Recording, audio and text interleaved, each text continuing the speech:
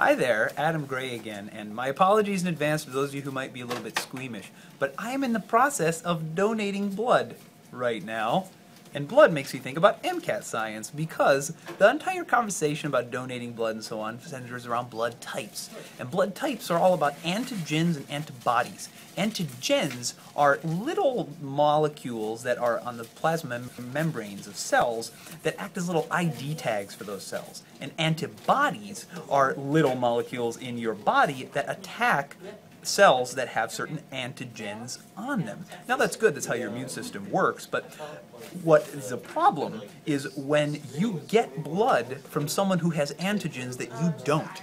Let's say you have O-type blood and the person you're getting blood from has A-type blood, then that blood is going to have A antigens on it and you're going to have antibodies to the A antigen in your blood and that's going to be bad because the whole point of getting blood uh, is that you keep the blood. But what would happen in that case is that you would your body would attack those cells and um, all sorts of bad things would happen. That's why blood type is important. And blood type is really fascinating in a lot of ways. I mean, um, you've got AB, you've got AB, you've got universal donors, that's O negative, you've got universal acceptors, that's AB positive, all sorts of good stuff. And the whole thing has a really interesting genetic makeup as well. It's a system of co-dominance for A, B, and O blood types. That's a conversation for another video.